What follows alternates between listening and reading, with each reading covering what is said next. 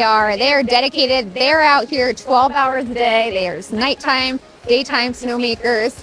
It's a huge operation, but I really think they love what they do and they're really good at what they do. Ski season is here, and so are some more chairlift chats. Hi, everyone. It's Jim Hamill with the 31st episode of this third season of Pocono Mountains podcast. We last had a chairlift chat with Ashley at Blue Mountain before the resort opened, the beginning of December.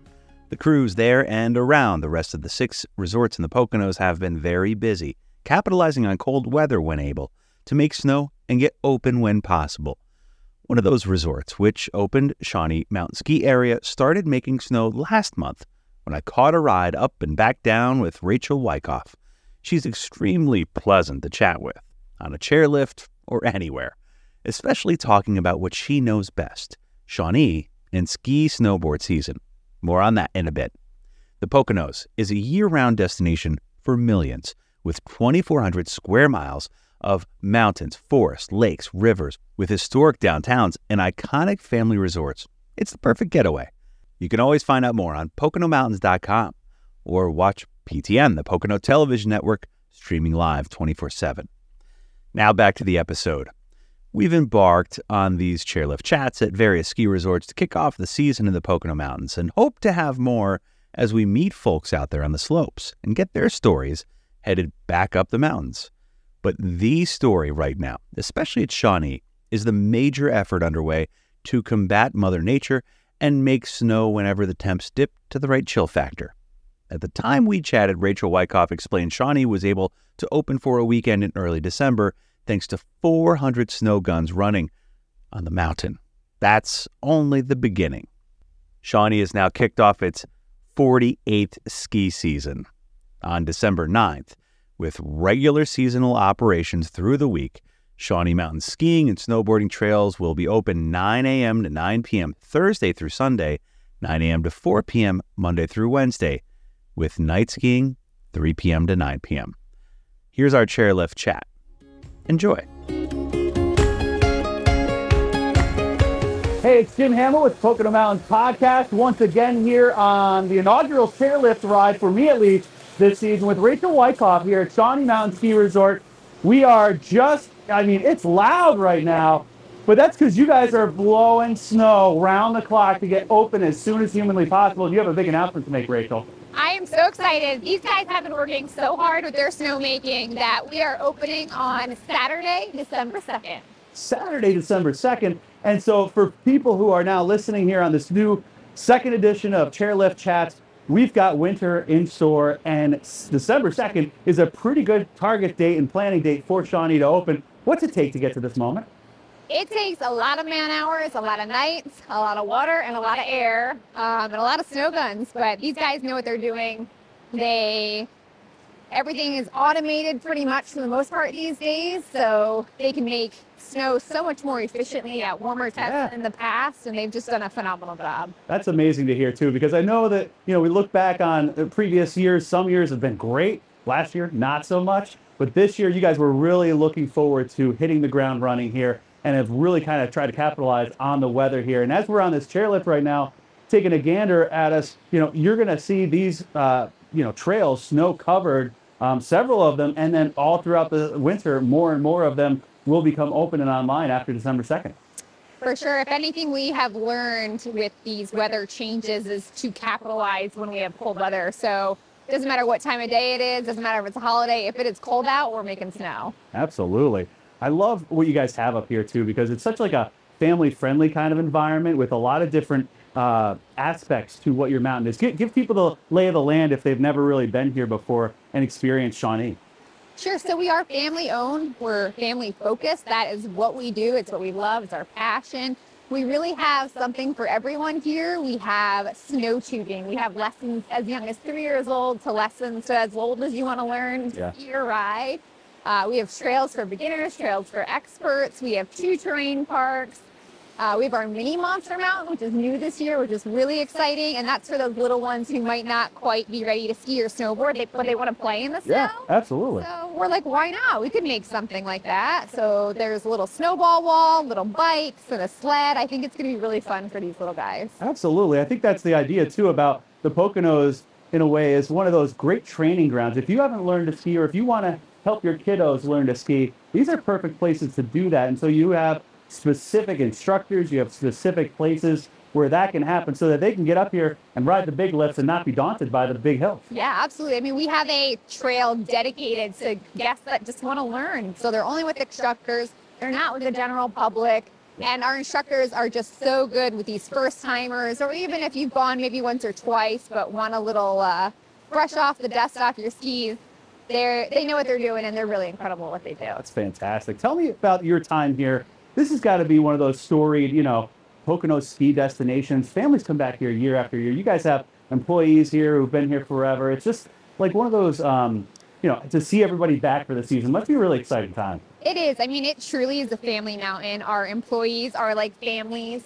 We have known most of them our entire lives. It's so funny. Our new department heads have been here since they were little kids working when they were 14. Yeah. So it's so neat for the older generation to see this young generation stepping up and coming to this mountain to work that they, they just love. Yeah. And you board, right? I do both. You do both. So you Yep. ski and you board. Yep. Um, what is it that you love about boarding and skiing up here? I mean, we, we kind of hit the trails a couple times already in the past couple of years, but um, you know, there, there's some great terrain, some great views too from the top of the mountain.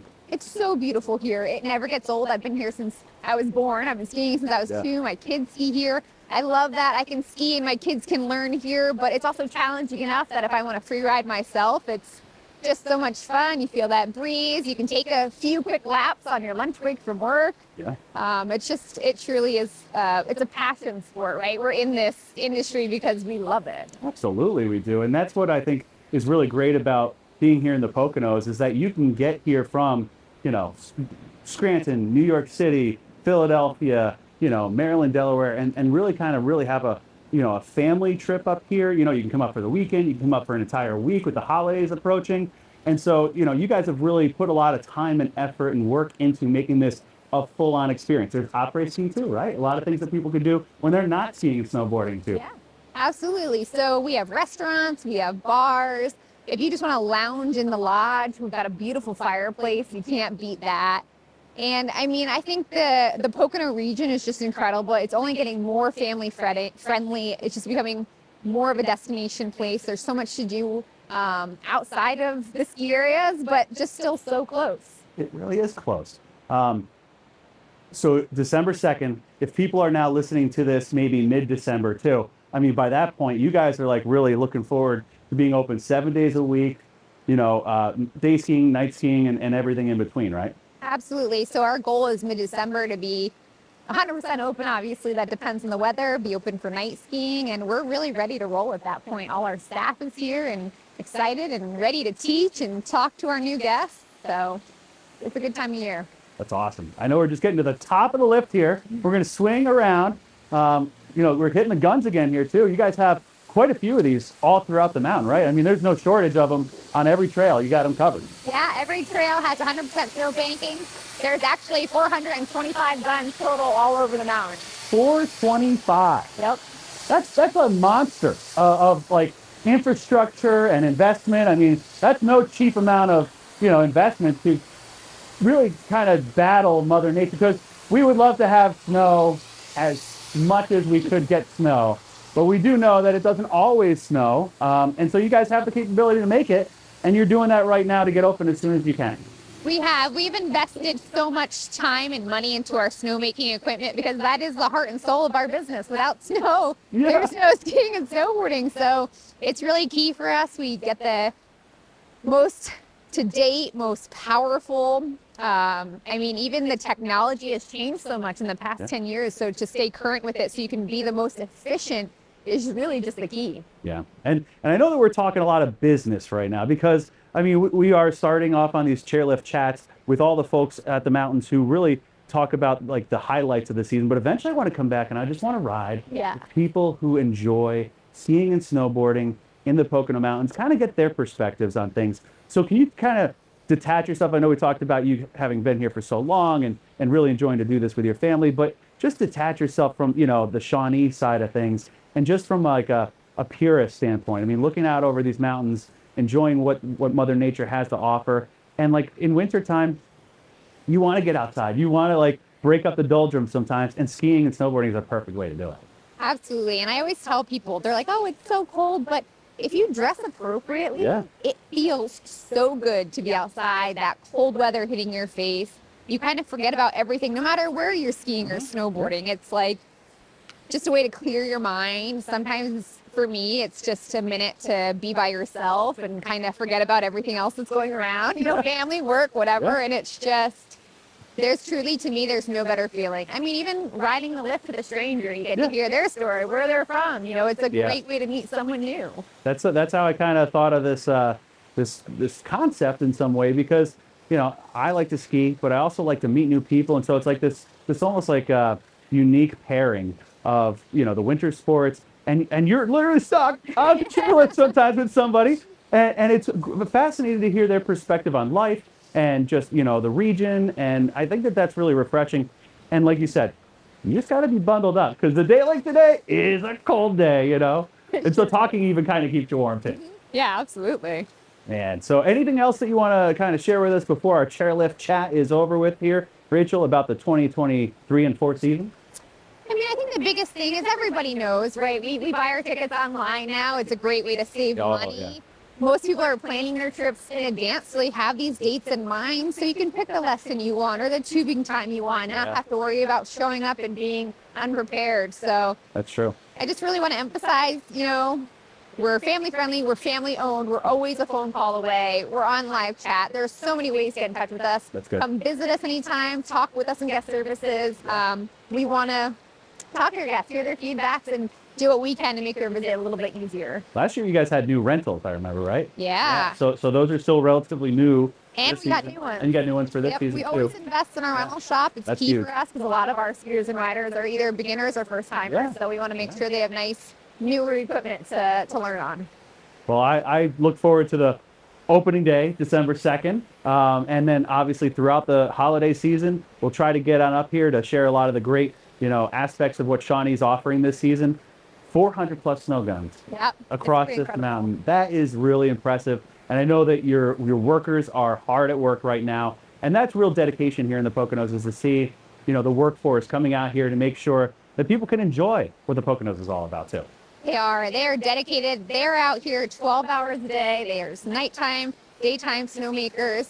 It's a huge operation, Yeah. but I really think they love what they do and they're really good at what they do. Well, I know you also love what you do because you get to not just talk about skiing and snowboarding, but actually do it because it's part of the job. And Oh, me be too. so. I know. We're not arguing here, folks, but uh, Pocono Mountains podcast is so thankful to have Rachel Wyckoff from Shawnee Mountain Ski Area here on Chairlift Chats, our own second Chairlift Chat. I think we've got a few more to go. Ski Big Bear'll open later in the month, I think, in December. And, uh, you know, a lot of different friends from across the resorts and the six ski resorts. Um, and um, really kind of just excited for the season for you guys. And where can people find out more, though, on your website and on social media? So we, we send them right to the spot where they need to go. ShawneeMT.com. Uh, we're on Instagram, Facebook. We're on YouTube, uh, Threads. Yeah. Find us, chat with us. We would love to hear from you. Well, I, I definitely want to share with everybody that they have a great head start on the season right now and are expecting a December 2nd opening and aren't going to be turning back. Even if Mother Nature wants to throw through wrench- wrenches in the work, Rachel, I know you guys are prepared to take it in force. So thank you again for joining us on the podcast and on our Chairlift Chats episodes here. Thanks for coming. All right, we're just cruising into the bottom here, folks. And I think we're going to have to make sure next time Jim wears his snow pants because jeans are not cutting it. A little long john. little long johns, little layers, you know. So, thanks again for doing this, Rachel, and we'll see you out here on the slope. Absolutely. Shawnee Mountain Ski Area, one of six ski resorts in the Pocono Mountains with big plans for this season. Head to PoconoSki.com for daily updates on hitting the slopes this year. And as a reminder, Shawnee is open Thursday through Sunday, 9 a.m. to 9 p.m., Monday through Wednesday, 9 a.m. to 4 p.m., with night skiing 3 p.m. to 9 p.m. Thanks for listening to Pocono Mountains Podcast. We'll have a new episode each week highlighting lots of the fun things you can experience while you're visiting the Poconos. Subscribe and leave a review and or comment on whatever platform you listen. Yeah, how do we help people vacation on a budget? Midweek deals. Yeah, all the same things you get on the weekend, maybe more.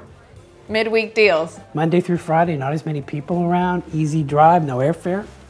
Midweek deals. No promo codes and it's easy to book. How'd you know? Know what? Midweek deals! Oh yeah, the midweek deals. Check out PoconoMountains.com slash offers. We're back. Thanks for listening to Pocono Mountains Podcast. I'm Jim Hamill. Now for a Pocono Mountains Podcast Extra. A couple years ago, they dedicated a historical marker for Dick Smith in Honesdale. Smith grew up across from Central Park and then eventually wrote the lyrics to the timeless tune Winter Wonderland. Here's that story. Enjoy. This was the view Dick Smith had as a child whenever it snowed.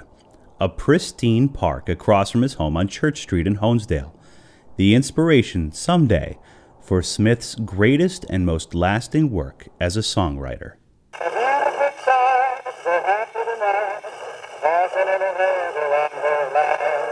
He was very musical growing up. He was a 1918 graduate of Honesdale High School and very, very popular among the kids. Peter Becker wrote the book on Dick Smith and that timeless tune, Winter Wonderland. Becker's family was close with the Smith family, having lived on the same block. And today, the Smith home is a law office, still very much what it was like a century ago. When you have a building like this, where you actually have pictures of him sitting right here, looking out into the park, you can almost imagine, you know, going back in time, you know, listening to him fiddle around, coming up with those words, the inspiration. It's, it's really exciting and something special. Smith did find something special, that's for sure. Winter Wonderland would be known the world over. At first, Becker says it sold a quarter million copies in the first four months. In between bouts of tuberculosis, Dick Smith worked with Felix Bernard, who set the words to music, and it was a hit. But soon after, Smith fell ill again. He didn't see that the, the real rise to the song. It was soon, soon, or hundreds of people over the next several years uh, started different, like Perry Como and many other famous uh, people uh, were putting the song um, doing renditions of the song. Dick Smith passed in 1935, but now those immortal words live on, especially here in his hometown that inspired the lyrics. Being a boy in Honesdale, I remember in the winter the snow falling in the Central Park and how beautiful it was at night. And part of the tradition of how he came to write the song, just part of it with the inspiration, according to Marge, was that the fact that you know, he, he remembered the joys of uh, living across from the park, which was basically his front yard, as it, as it was mine. And he would uh, play in the park like other kids yeah. and remember the beautiful snow on the trees and everything on the, on the roads. Now, some 87 years after Dick Smith conjured Parson Brown, his legacy is cemented outside his childhood home in Honesdale. A big crowd was on hand to see the state historical marker unveiled.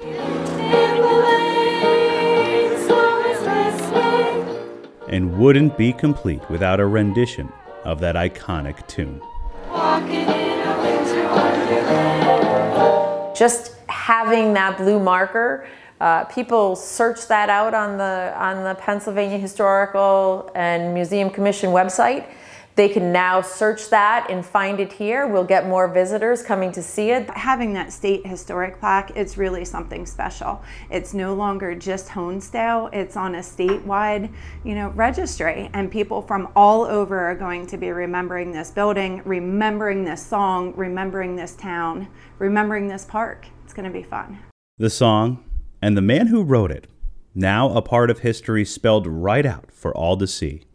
And if you pause and listen, especially during the right time of the year.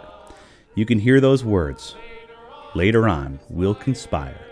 As we dream, as we dream by the fire, face unafraid the plans that we made, walking in a winter wonderland. Jim Hamill for the Pocono Television Network. Winter Wonderland, the true Winter Wonderland in Honesdale and Shawnee Mountain Ski Area. Two of the very best experiences among many this winter season. We hope you enjoyed Pocono Mountains podcast. Please remember to subscribe anywhere podcasts are available. Come visit us in the Pocono Mountains. Plan your trip today.